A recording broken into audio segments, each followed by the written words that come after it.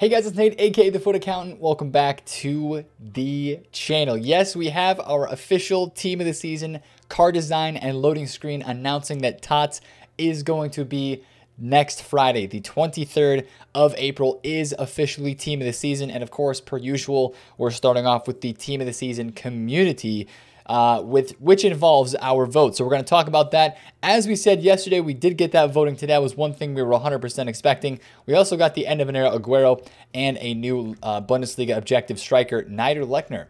Um, SB or objective player that you can do in there as well. So we're going to talk about that. Of course, the content we could see today with Road to the Final upgrades, maybe new man of the matches, and what I think is going to be the start of a pretty sizable weekend league sell off. And you're already seeing some undercuts. You saw prices drop yesterday with this loading screen and with team of the season being confirmed. And I think you're going to see more prices dropping off today. But first things first, let's take a look at this vote because, of course, this is what a lot of you guys were doing yesterday at the content drop was doing your vote. Now, the first thing is, uh, looking at the actual nominees that we have down here, I know it's kind of hard to see because they're all down here below on the bottom. I think this might be, and you know, no offense to these players or whatever, but I feel like our selection, especially of attackers, is one of the worst selections that we have ever had for this vote. I mean, look at last year's FIFA 20 tots. We had Zaha in the attack. We had uh, Felipe Anderson. To be honest with you, there weren't that many attackers last year as well. Uh, Dembele, of course, the Moses Simon card was decent but there was a lot of midfielders and, and, defenders, and that's how it is this year too. The attackers are not very good in my opinion. There's some cool names in here. Harvey Barnes, Michail Antonio, uh, Leon Bailey. Of course, Bellotti could get one. I think uh, Ilicic, Lang, Moise Kean's probably going to get one. I think this card's going to be one of the most popularly voted in ones for an attacker. But I just feel like, especially our attacking options, but our, our options in general are just not that good. So I am curious to see who does end up winning this vote. I think you're going to see a lot of the Premier League guys win. Now, in the fine print down below, it says that there has to be no more than four players from the same league. So I'm guessing that in the final squad, they're not going to allow more than four players in the same league. So, of course, you have a lot of Premier League cards. You've got Ndombele in here. You've got Skipp, and you've got Højbjerg. Uh, and, of course, in the, the, defenders, you've got Zouma, You've got uh, Digne. You've got uh, Justin. You've got Mings. Uh, I think even there's Fulham, the Areola goalkeeper from Fulham, and of course the Schmeichel are both in the goalkeeper section. So I'm really curious to see number one who wins this vote, and number two who gets into the team because there can be only four players from one league, and there's a lot of prem players. Now, if you actually want to vote, you can put more than four prem players in your vote, um, but yeah, I mean it, it, it's a, it's a very prem heavy. I mean Alaba probably gets in in my opinion. I do think I think Tagliafico might get in as well. I know that he is not maybe one of the most hyped up cards, but this Goldson card with the links to Cavani, I've seen that in a lot of people's voting uh, votes as well. Now, of course, if you click on the terms and conditions, just like always, here it says that the final community team the season will be determined by a combination of EA and community votes. And of course, they have never really given us the actual statistics on what those, uh, what the percentage votes were for a lot of this stuff before. Uh, but this is the vote, right? And the vote is here. And you know, community team of the season is always kind of like it's like it's like a halfway step up in the hype compared to what the real team of the season squads that are released. So I guess you could say uh, that not seeing a lot of big names in that community team of the season bodes well for the other team of the seasons. Oh, I didn't mention the one thing I wanted to say. Um, there's only 11. We're only choosing 11 players from this. EA Sports, if you're only dropping 11 team of the season cards and packs, that is a tremendous L. That would be a huge L if they're only dropping 11 team of the season cards from community in packs because of course last year we had a full side with the bench and reserves included. Uh, I don't know how many this is. Maybe is this a 22 or 23? I don't know how many it is, but um, we need to have a full squad with a bench at least for team of the season. If it's only the starting 11, that is a huge L. I don't care if you're dropping the second team or a second league alongside with this. We need more than 11 players in packs. I know that's been a thing they've been doing this year with promos, but that should not be a thing with team of the season because that's just not how team of the season should roll. Anyways, if that starts to become an issue, then I think some people are going to be unhappy about it. But that was one thing I was worried about because the voting only consists of 11 players. So hopefully, I guess EA is going to choose like the the honorable mention players that almost win in the vote will be on the bench or whatever. But um, yeah, I don't know. We'll have to see about that. But again, we also got a little bit of content yesterday with the Sergio Aguero SBC. Now, I want to make some points about this. This is a pretty special card because, of course, it is kind of remembering Aguero um, for not being at Manchester City anymore, an end of an era card. Four star, four star. It's got a lot of thumbs up on FUTBIN. It's got a lot of thumbs up, 5,600 upvotes, but also 1,700 downvotes. I think personally, this SBC is a little bit overpriced. Now, there are a couple factors out there that can make you say, hey, Nate, it can be done if you want to get it done. And that is true. But, you know, compared to some of Aguero's cards in the past, he had a team of the season last year that I actually used. This 96 Aguero from last year was absolutely ridiculous. And it is definitely better. 95 pace and 97 shot compared to this one right here. Now, of course, when this guy was first out in packs, he was 2 million coins. But, you know, he's, you can see he quickly dropped off under the million coin range. So anyways, I think this Aguero, with the stats that it has, you know, is not terribly overpriced. If you want to try to craft this, you can. It's out for 26 days, and that's the big part, right? Uh, really cool SBC crest here as well. This is a pretty cool um, SBC for you know emotional reasons. I do think it's a little bit expensive, but if this is something you want to work for, you can obviously work towards it. We also had this League One challenge, and I think we're going to be seeing these about every single day or every other day this week as we head into team of the season because they're going to give us these challenge packs, and it's basically a League One Premium Players Pack. And this is the upgrade SBCs EA Sports. If you're listening to this video. This is the upgrade SBC that we want to have during the week. This is basically the 25k pack of League One only players. So of course they're gonna drop these throughout the week. They're probably gonna drop Prem. They're gonna drop Bundesliga, La Liga Santander, and uh, did I say Bundesliga? I think I did. Serie A. They're gonna drop all the five major leagues for these League One challenge packs uh, for the premium players packs from that league. So you'll be able to stash those until that uh, specific team of the season comes out, or if you want to open during community tots. They also re-released the 81 plus double upgrade until Friday, which is very interesting to me because this to me is just, uh, you know, promoting for people to continue to drain their coins pre-team of the season because hey they're saying here hey you can stack 81 plus double upgrades before team of the season if you want to. They're giving us that opportunity but they're also doing this because they know people are going to try to craft prime icon upgrades and maybe craft this aguero. So i guess it is kind of nice on one hand that they gave us the 81 plus doubles if you're trying to stack packs for tots uh, but also it's kind of like Hmm, okay, EA Sports. Sneaky move there, trying to drain some coins pre team of the season. Speaking of pre team of the season coin drains, I feel like since we didn't get a big time icon SBC yesterday, I don't think we're out of the woods yet. We still have six days until Team of the Season is going to be dropping on next Friday. So I still think there could be a one time non repeatable Moments SBC, or if they add something new into the code. I don't know if there's a prime icon player pick that has been added to the code, but I feel like that is something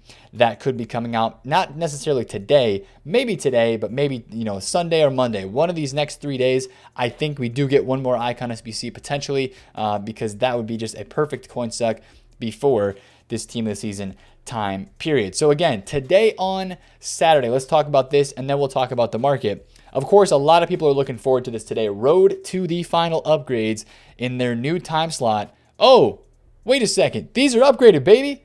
Yo, EA Sports, why are you not consistent anymore, man? I just looked at FUTBIN. This Gabriel Jesus has got a plus one. What is going on? Yo, okay, so these have always been updated on Saturday. So what's going to come today on Saturday that they had to upgrade these at a different time? Multiple times this year. Wow, they've done this like different every single time. What in the world is EA doing? So I brought a Gabriel Jesus at 500,000 coins uh, earlier today because it was just very, very cheap. And he just got upgraded. How much is he? He's 539. Interesting. Um, Varane just got upgraded as well. So it looks like they just went out and did these boosts right now, which is interesting. Varane is a 91 rated card at the moment. I don't know if people have seen if these boosts have gone out. Hazard got upgraded as well, bro. Oh my goodness, Hazard is so cheap.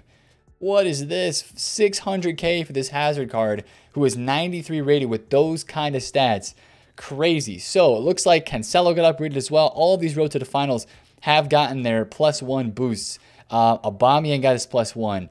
Bruno Peres got his um, Oh my goodness, Bruno Peres looks absolutely ridiculous. Let's take a look at this card really fast.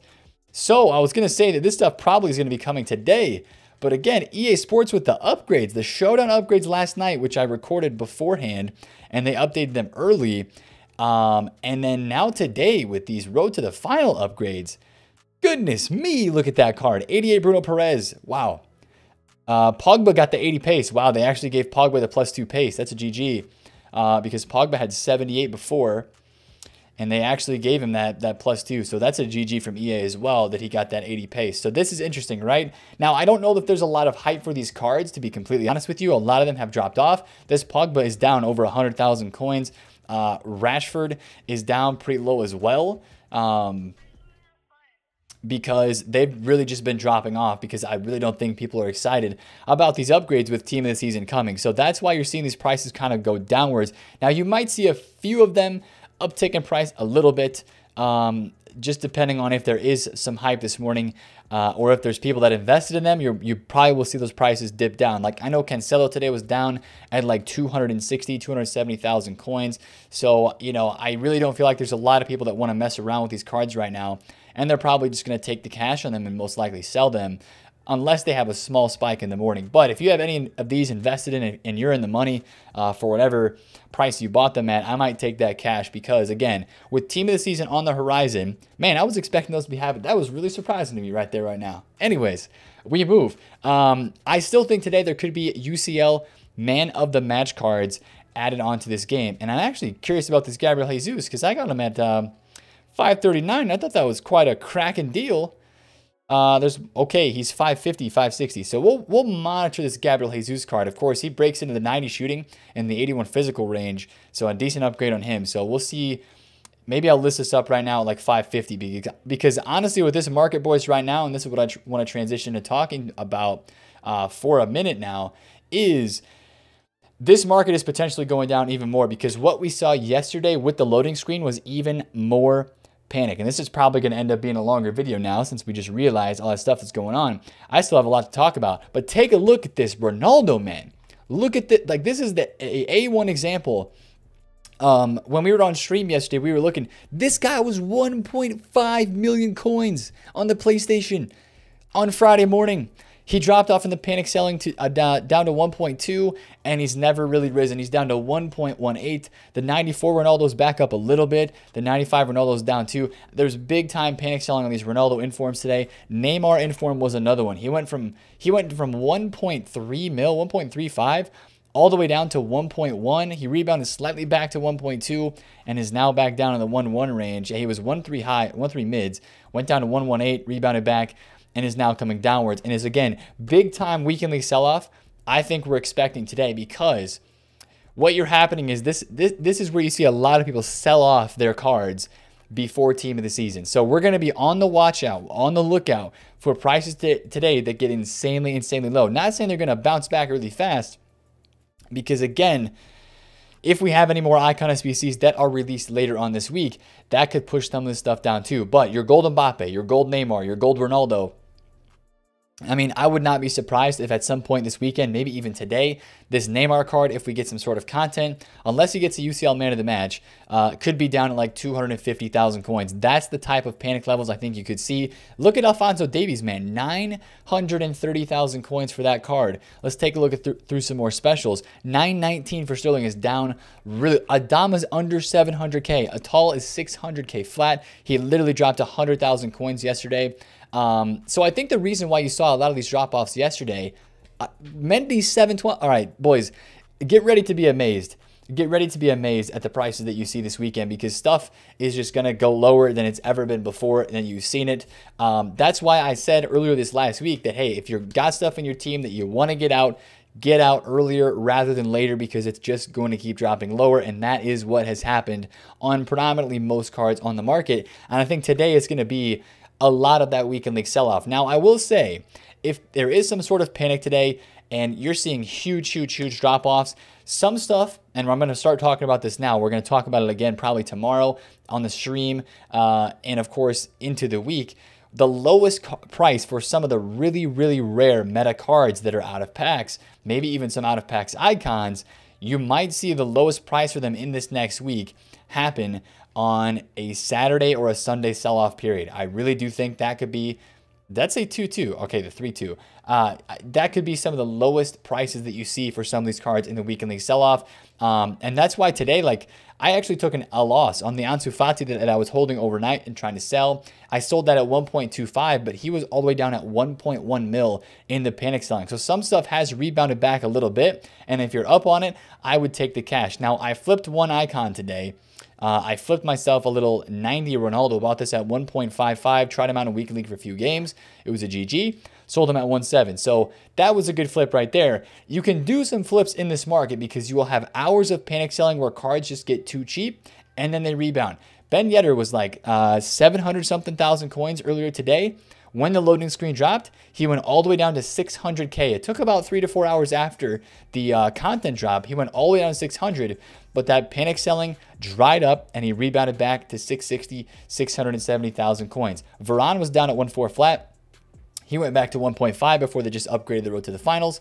172 on this dog leash was a very, very cheap price. That's going to be a moneymaker for somebody because he's up at around the 187 range. But I honestly think that you're going to continue to see a lot of people are playing uh, with untradeable teams right now in Weekend League. As I'm loading into games and seeing teams, it's a lot of untradeable type SBC cards that are popping up. And I think, you know, if there's people that do have tradable cards in their team, you're going to see more of that sell off happening today, especially on some of those gold cards like the Ronaldo, like the Mbappe, and like the Neymar. So, as you're looking around the market today, um, in this morning, I do think you will see a pretty sizable sell off. Now, of course, if things get too crazy, all right, if you're seeing 30, 40% drops off of prices that are already low, then that might be a situation, right? That might be a situation where you could say, hey, this Conte, if you see like 700K for that card, you know it's a rare card out of packs and it's Conte, right? That's the best Conte card we'll probably have all year, unless EA drops some sort of SBC for him. Uh, that could be a situation where it's just getting too cheap. So if you want to try to trade, it's risky, right? If you want to try to trade with these big swings in prices as there's panic selling and as it dries up, um, you can do that but it is pretty risky. And I, you know, I didn't really trade a lot yesterday. I flipped that one Ronaldo, made however much profit, like I think I made 60K on that or whatever, and just got out because I, it, it was more worth it for me to stay liquid and have my coins than to try to fluctuation trade with some of these cards. And these guys are just still dropping right now, late night Friday. Van Dijk is 1 4, excuse me, 2.1 for Bruno, 1.06 for Lewandowski, 4 7 for Mbappe. These prices are just continuing to drop and continuing to fall. So, of course, some things will bottom out at some point. 870 for Bruno. Wow, man, this is ridiculous stuff, man. This is actually pretty crazy. Um, it's probably going to keep going down today, though, in my opinion, especially some of the mid tier market that isn't down as much right now is really going to drop off more today, in my opinion. So I would definitely keep a watch out uh, for some of that mid tier market stuff that maybe is down a little bit uh, but it's not down uh, crazy bad. My controller's not working. Thank you very much, EA Sports. I appreciate that. All right, there we go. We're back in business. Um, but I do think the market is going to fall down even lower today. If I get a sale on my Gabriel Jesus, that would be sick. We would be full liquid at about 5 point something mil. I can't do the math. 5.1 mil, maybe? 5.2 almost. So that'd be awesome, man, if we were completely liquid. Now, SBC fodder, I want to talk about this for a second as well. Let's talk about the fodder market. Now, we didn't really have any tradable supply yesterday. So, of course, you see SBC fodder kind of trickling back up in price. Stuff is going up a little bit as people are doing the icon pack, as people are doing the Aguero SBC. I think informs are on the rise as well. So, if you have fodder, in my eyes, you're still holding it because, again, what supply is really going to come in the next couple of days that's going to make you want to sell some of your higher rated cards. Maybe if you have 88s, you bought it like 45K. Yeah, you're making a little bit per card right now, but they released one more icon SBC. People have already cleaned their clubs out of most fodder because they've done a prime icon pack, or maybe they're working on Aguero, or you know they're bored and they're finishing another icon moments player SBC. I think you're going to continue to see this fodder rising up a little bit, unless we get some sort of um, something crazy like a I don't really think there would be anything, to be honest, this weekend that would uh, supply this fodder or make people panic sell their fodder investment. Honestly, the only thing that's going to make fodder drop is heading into team of the season if we get no content and some sort of tradable packs that people would, would for some reason open. Uh, that's the only reason I would see fodder dropping. So really, if you have fodder, I would continue holding on to it and probably sell it later on this weekend or into next week early before team of the season before we see, of course, the huge, huge pack spam for that TOTS um, most consistent promo. So if you are trading on the market right now, make sure you're watching out for the open bids because again, just like we saw with this dog leash, whether it's special cards, whether it's icons or icon moments, you can still get really good bids. I got my Ronaldo for 155 on a bid, sold it at 17 first listing. So that was a GG, took the coins there, and uh, and I'm moving on, right? So that's the kind of stuff you can do. It is a little bit risky to trade in this market, but of course, if you're getting on low bids and open bids, then you're going to be saving yourself a lot of that headache and stress because you know what your cutoff price is when you're bidding and what you can sell for on a quick flip. So that's what's going on in this game right now. I know that was a lot to talk about, but of course, the big thing is team of the season is confirmed, and uh, there's some cool cards. If EA does the juice for these cards that are in the, the, the community vote, there could be some decent cards that are a part of TOTS community. So we'll be talking about that, of course, this week. If you want to take a look at some of those uh, predictions and potential cards we could be getting, I'm going to be posting some of those on my TikTok. Yes, I do TikTok now, but that link will be down below in the description if you're interested in that. So that's the video for today, boys. Team of the season is one day closer, and it's finally confirmed in front of our faces by EA Sports. So that is also nice to see. But if you enjoyed this video, hit a thumbs up on it, comment down below if you have any questions, and subscribe if you're new. It's been Nate the FUT Accountant. I will catch you guys later. Peace out.